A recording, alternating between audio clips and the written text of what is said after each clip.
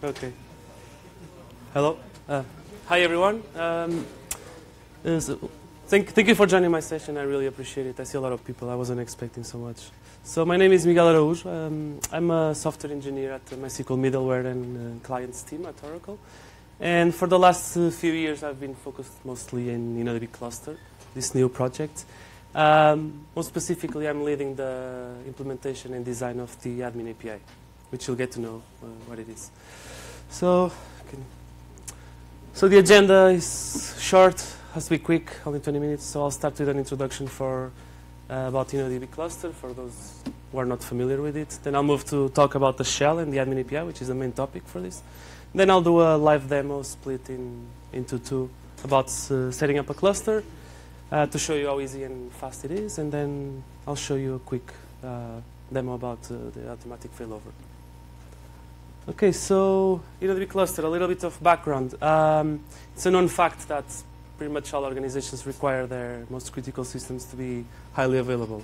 Uh, more specifically, data. They cannot afford to to have their data. Um, they have data loss or data not available. So high availability is critical. And how do you achieve it? I mean, if I ask around, pretty much all of you will say that is replication, and that's that's absolutely correct. So availability, critical fact factor, replication, common solution. Uh, MySQL has had great support for replication for quite some time with a classic uh, master-slave replication, but people is uh, looking for other solutions, for built-in HA solutions with everything integrated.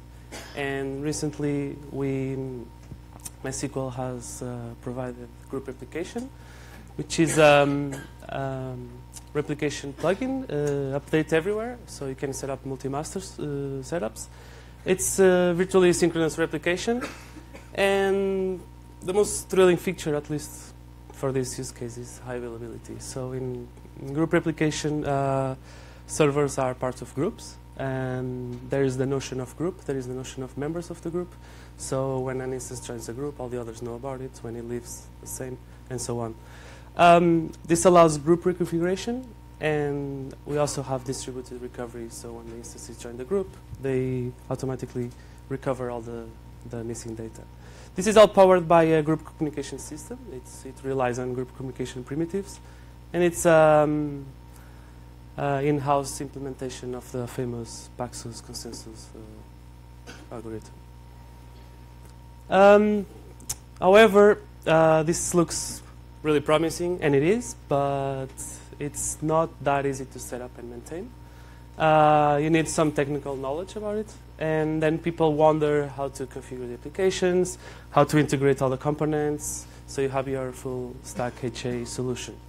And this is exactly the, the vision that we have for InnoDB cluster. That is a um, single product, MySQL, no external components, with high availability and scaling features baked in, providing an integrated end-to-end solution that is easy to use. That's one of the main goals of InnoDB cluster, it's um, usability. So, three main uh, characteristics. Ease of use with built-in HA, an out-of-box solution with everything integrated, and this sets the base for scale-out and high performance from now on. So going bottom-up on the stack of um, the component, uh, components of InnoDB cluster. We have the data servers running the MySQL and the group replication plugin. Then we have the application servers with the router. That is the other component that I, I, I didn't introduce yet. So the router is a very lightweight uh, middleware component that um, uh, it provides transparent routing between your connections to the to the servers with the data. So it, it, it hides the, all the TCP ports of the, the servers behind one port for uh, read writes and another for, for read only. And to set up and manage everything, you have the MySQL shell uh, with the admin API. That is the API to, to, to do setup and configuration of InnoDB clusters. You add the clients and you have the full uh, stack HA solution. So again, one product, MySQL, full stack HA solution, and easy to use. So uh, next topic, the shell. What is the shell? Uh, the MySQL shell is it's a brand new interactive multi-language interface for MySQL. It supports development and administration for the server. And it can be used to perform queries or updates or whatever, like you did with the old client. But on top of it, you can also do administration operations. And for that, we have uh, APIs implemented in the shell, which we call scriptable DevOps APIs because we can do development and operations. And this one of the main goals of the shell is to be um, an unified interface for both developers and DBAs. Um, on top of that, it's very intuitive and it's very easy to use. So features, uh, recap, multi-language support. We have JavaScript, Python, and SQL in the shell. You don't have to restart the shell. You can just switch between languages. Uh, you can do both interactive and batch operations. And um, with the development APIs, we support both documents and relational models. So I don't know if you're aware of it, but it was already talked around, uh, around here about the document store. The shell has full support for the document store with a Fluent API. That is the Dev API. And we also have the support for the classic uh, relational model. Uh, what about the admin API? Um, the admin API is an administration API implemented in the shell, uh, which uh, allows uh, you to create and manage clusters. And the main goal of the admin API is to hide the complexity of configuring, provisioning, uh, orchestration of InnoDB clusters. It's very simple, very straightforward. the goal was always to be very usable, and usability is always a top concern. So it doesn't require MySQL expertise, but at the same time, it's, uh, it's flexible and it's powerful. You can go from the basic commands and basic operations to more complex ones. It's available currently in uh, both JavaScript and Python in, in the shell, and we'll see in the future. So uh, I'm talking about how easy it is to set up and do everything, so let's do a quick demo to show you how to set up a, a cluster. Okay, so let's start the shell. Can you, can you see it? Or yeah, it's cool. So this is how the shell looks like. Have this eye candy. Um, it's uh, you have uh, auto completion. I can show you the the online helper with the commands general stuff. And what I want to show you is that uh, in the shell automatically initializes global objects. So the DBA is the one for where the admin API is implemented. Then you have MySQL, MySQL X, that is the document store, uh, the Dev API that I was talking about, and other objects. So what we care for now is the DBA one. You can see the auto completion. It's quite cool. You can call the online helper, and you see the. Maybe this is too big you can see the, um, the available commands of the admin API.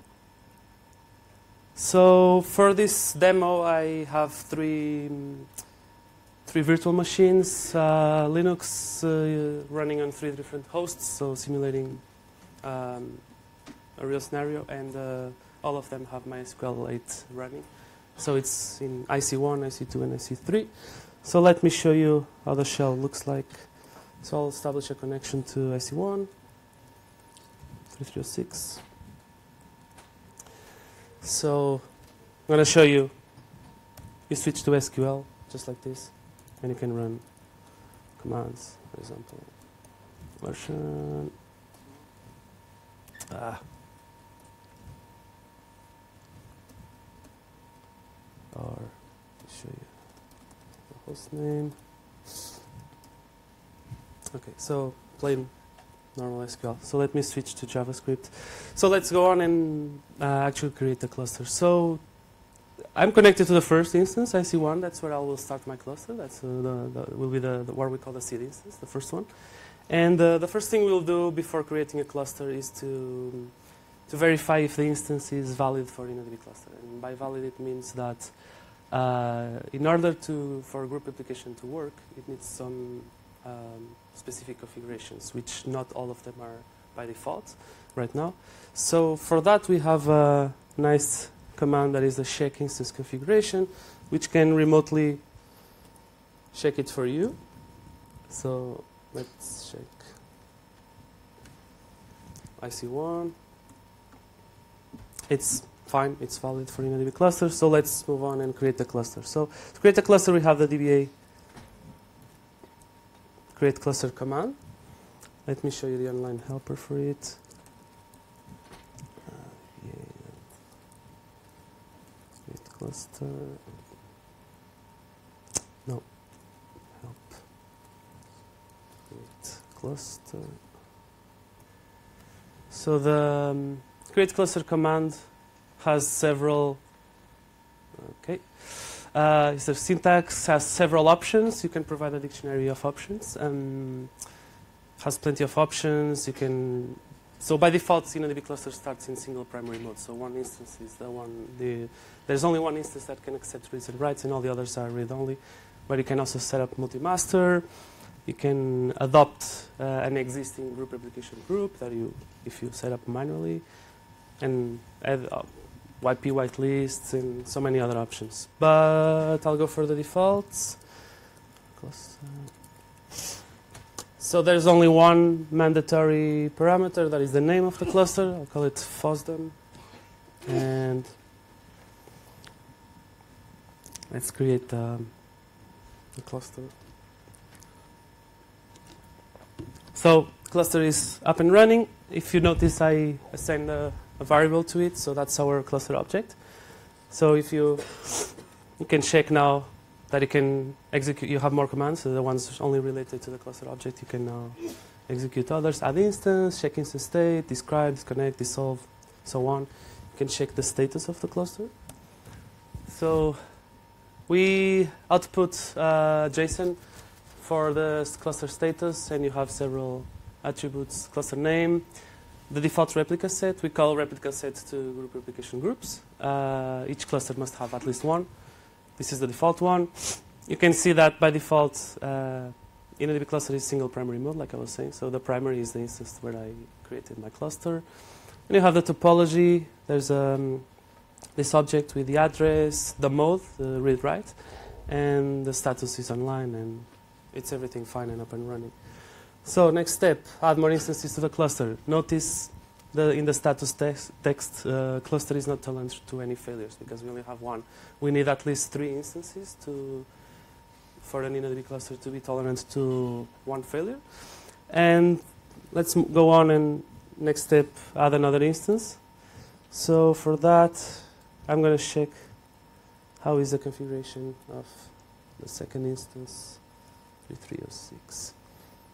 So on purpose, I, I changed the configuration of this instance just to, to show here. So non-valid. Uh, okay. So uh, the command is telling us the instance is not valid. Some issues were found.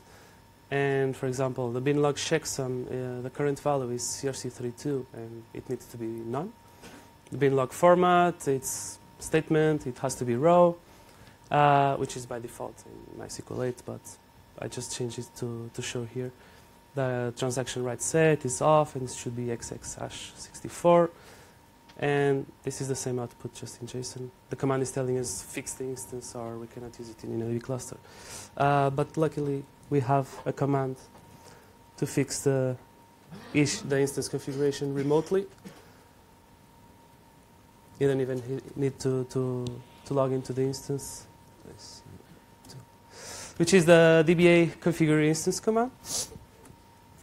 So I'll call it on the instance, and the command is telling you the the options that needs to change, the current valid and the required valid. It prompts you if you accept the changes. You say yes.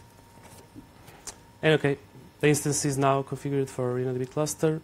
There's a warning saying that uh, one of the one of the um, it's saying that you're required to restart the instance, and that's because of the transaction write set extraction. That uh, you need to restart the instance in order to for for the, the, the option to be changed. So let me sw switch to SQL mode, establish a session to the instance. Okay, and now I'll run the restart command, which is this beautiful, amazing command that we have in MySQL 8 that you can remotely restart an instance. It's really cool. So let's just run it.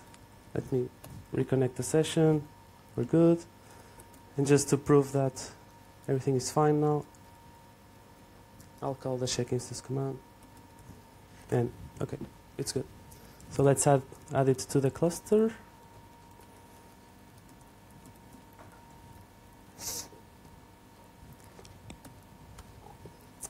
Uh,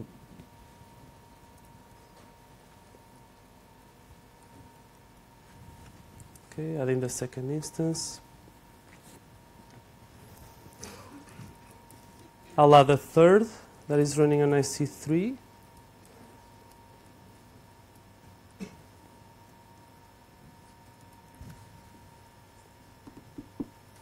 Okay. And let's take a look at the status of our cluster now. Okay, so you can see that we have the three instances on the cluster. First one, the read write, the other two, read only, IC2 and IC3. And the status text is telling us that the cluster is online and can tolerate up to one failure. So our cluster is, is up and running, and you see how easy it is and quick to, to set up a cluster using the admin API. You have several other commands. For example, if you don't want to see the, the status of the cluster, but just the topology, you can use the describe command. With, it's a simplified version of the status, only has the description of the topology, and so on. So, cluster up and running, all good. What's the next step? Set up the router. So, let me. So, the router um, has an option to automatically bootstrap itself to be configured for a specific InnoDB cluster. That's the bootstrap option. You have to specify uh, the URI for one of the members of the cluster. I'll use IC1. And you can also um, specify a output directory where the, the cluster will be installed, and it's a self-contained directory with uh, the configuration for the router and the start and, st and stop scripts. Okay, so uh, the router is configured, and you can see here that read-write connections go to localhost 6446, read-only to localhost 6447, and you also have the ports for the X plugin. So let me start the router. There's a start script for it. It should be up and running. Uh, there it is. So I'm going to connect to the um, read-write port of the router, 6446. I'm going to get my, my cluster with a get cluster uh, command. You have to connect it to one of the instances of the cluster. We're connected to the router, so it automatically redirects the connection. Here's our cluster. Now let me switch to SQL and show you host. Uh.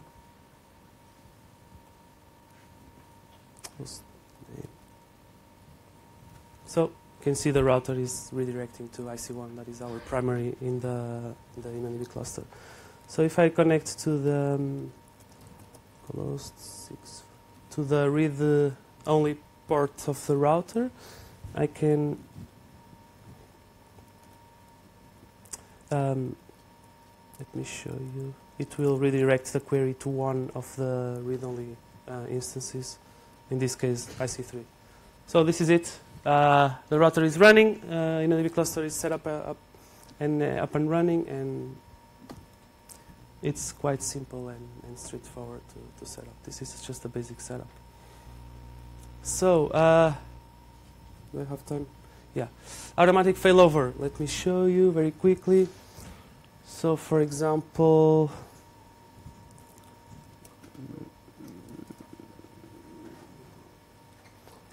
uh,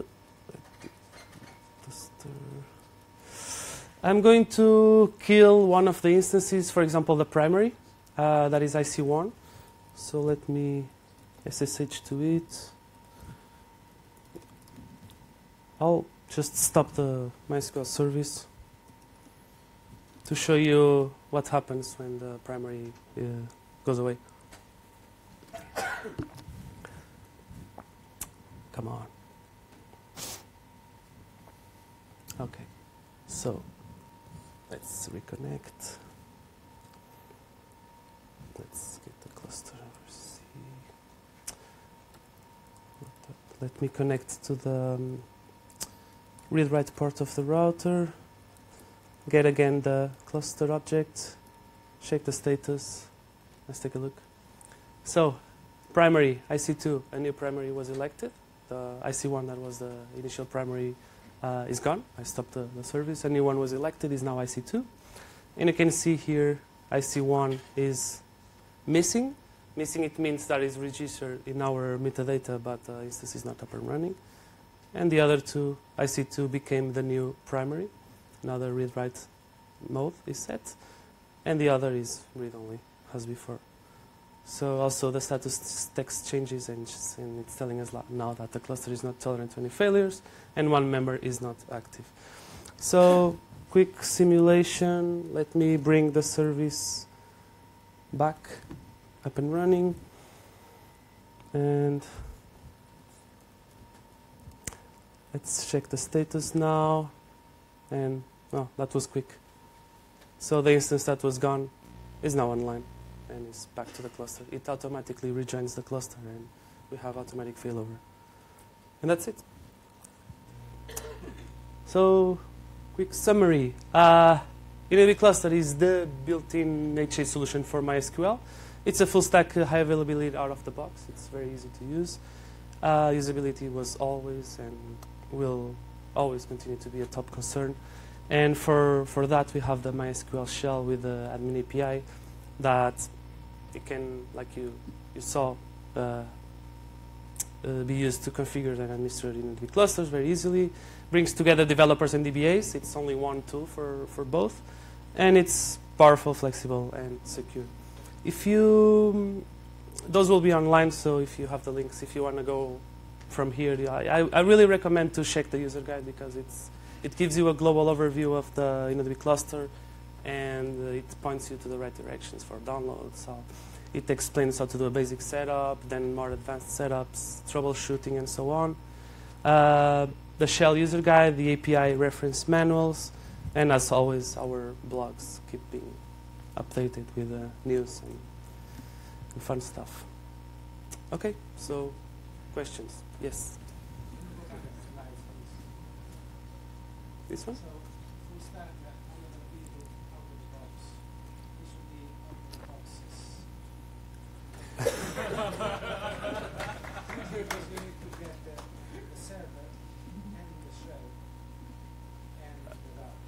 is there any reason why the shell is not in the server? Because Yet. when the, the shell was uh, uh, I was told, uh, okay, we wait until it's GA. Now mm -hmm. the shell is GA. Can you yeah. please put them together? Yeah, we will. Uh, we will. Eventually. yeah, but it's, it's, it's in the plan. Yeah, yeah, definitely. Yes? Empty node? What do you mean? Sure, that, yeah. And you have the distributed recovery, so the join nodes the data will go into the recovering state that is fetching the, the missing data and eventually gets in the online state and it's up and running. Yeah. yeah, but only if you have all the binary logs on the machine. If not, you have to start by a backup. Yeah. But Yes, of course. uh, yeah.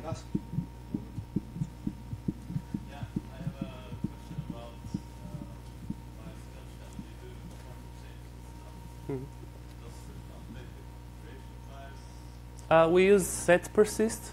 That is a new feature of MySQL 8 that allows you to. I don't know if you know about set persist. No. Uh, so with set persist, you can run the the command remotely, and the, the configuration is persisted in the server. So um, behind the scenes, there's the server creates. Don't go too far. The next talk will discuss about set persist. Okay. So stay there. Peter will tell you what it is. Okay. There is one great last question. Uh, How do you deal with flapping nodes? Flapping? Yep. What do you mean by flapping? On, off, on, off. That we, we don't deal with that. That's group replication. Okay, but if one node is uh, going off and then on and then off and then on, mm. uh, it will be considered uh, to be primary at some point? Or It, it gets rejected. After a wh- i- if it has so, too many issues, we say, oh, this is a network problem for this one, gets rejected for the group. Mm. Yeah. Thank you.